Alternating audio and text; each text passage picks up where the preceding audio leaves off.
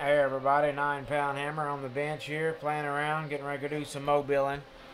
See we're on the 10X Pros, we're on DC, DC coupling, and we got our uh, center, uh, our Gradical center, Gradical at 0 volts per division. Uh, and, uh,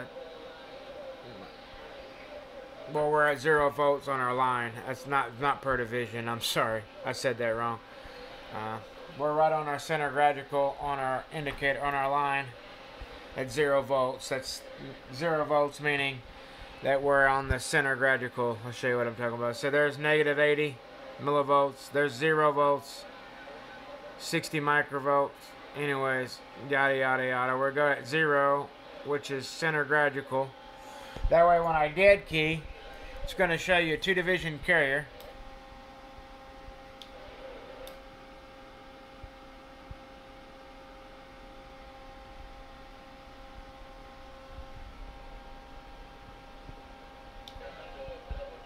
So our, our bandwidth is at we're at 30 kilohertz on our bandwidth.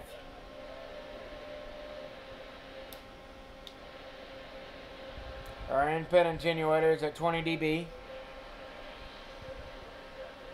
We got our log reference at about 32 negative 30 dBm. We're in 10 dB log, so you see we're we're not on the linear, we're on a logarithmic scale, which is what I use. Our video filter is at 10 kilohertz. We're scanning 0.5 megahertz per division.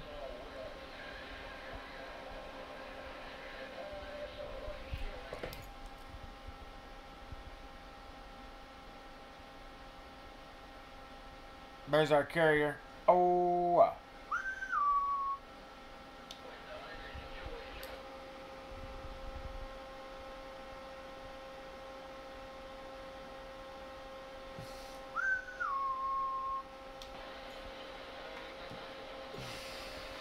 Anyways, guys, 73. Kind of bored today.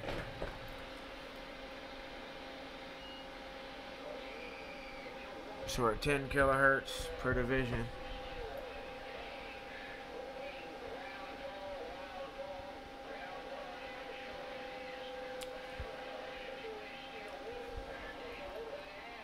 Let's do something here. Let's go to. Let's see. Yeah, that's kilohertz. There's 20 kilohertz per division. 10, 5, 2. Let's go 10. Oh.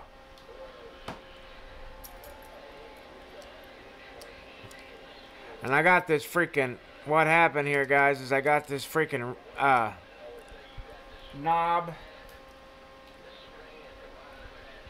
There we go, and that's my indicator.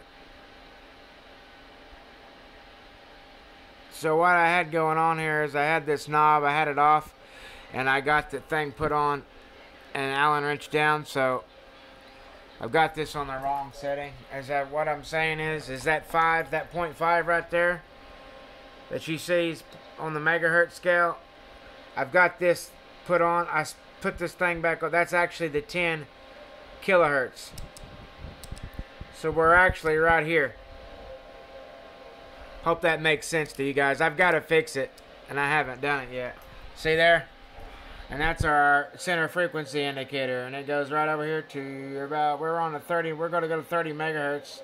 That'll be our center frequency. And then that's where my carrier will be. Pretty cool, huh? And there's both of my side bands. And then my center carrier that little mark is center frequency indicator. This little mark here. It gets covered up in the noise floor every once in a while. You gotta realize, guys, this thing is...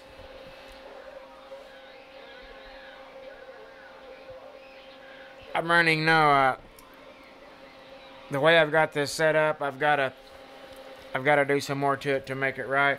So some of like this, some of this is getting hung up in the, in the noise floor, like that's my center frequency indicator. And you see it, you see it there?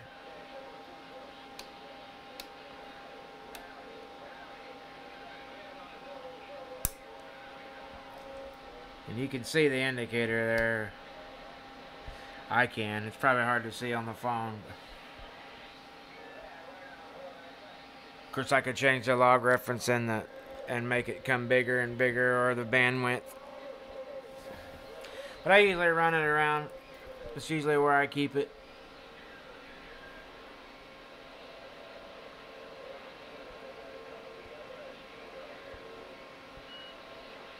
And we're looking at one on this this one here. We're only looking at one channel, so. so I mean, what I'm saying, each one of these boxes is 10 kilohertz per division. See here, each one of these boxes. So if we're on channel 20, this is 19, 18, 17, 16, so on and so forth. And that's why if we go over here to the transmitter and we go to channel, so there's 20. We go to channel 19, it's going to drop one division, one box.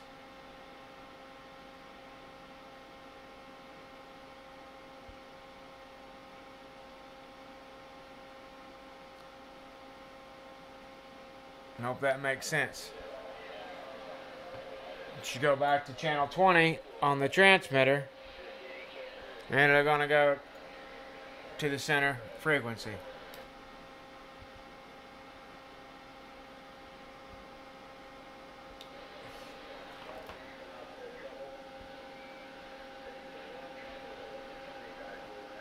So then so each one of these lines will tell you where your channels, your next channel's at, and that's how you read one of these. So we want to say we want to go up to channel 21. That's 27. Uh, that's 215. Be one box up the center gradical. 21. So, say we want to go to channel 22. 10 kilohertz per division. One more division over, channel 22. We go to channel 22 be the next division. 22. Now we want to go to channel 23. We go to the 23. We go to the next division. It'll be the next line. 23. Hope you all understand how that works. Go back to 20 on the transmitter. So you have a half channel. You got the 195, which will be a half box. See there? That's 195, 19, 18.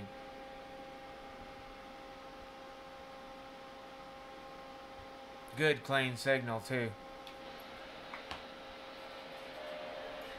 Anyways, oh, there's my indicator again. See, uh, eh. it comes and goes. And the reason why it's coming and going is it's getting hung up in the noise floor because of the way I've got everything tapped. Guys, I've got to get cables and an in uh, for this one here. I want to get like a 40 or 60 dB attenuator. And then I can also run my input in through this and then I could come out my trig out in the back and go into my other one but still I have to have an attenuator. Yeah everything could be an attenuated like everything could be attenuated here but you guys got to understand when you run attenuation like this then you got to do the math to make up the difference when you're doing all your measurements. There's my center frequency marker again I get a little bit of uh, RFI issues and as you can see it gets covered up sometimes in the of course we can always bring our intensity up and bring the markers up but I like to keep them right in the noise floor because as long as I know that I've got my center marker here at 30 meg then I know that when I key it's going to be in the center of the screen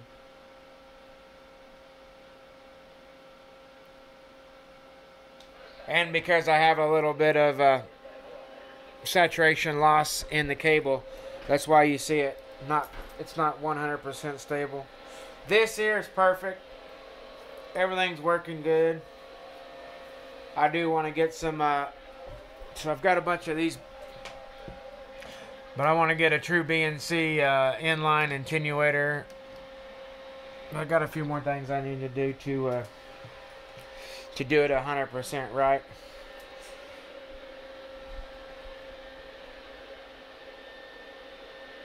Anyways, I wanted to show it. 73s. Show it again.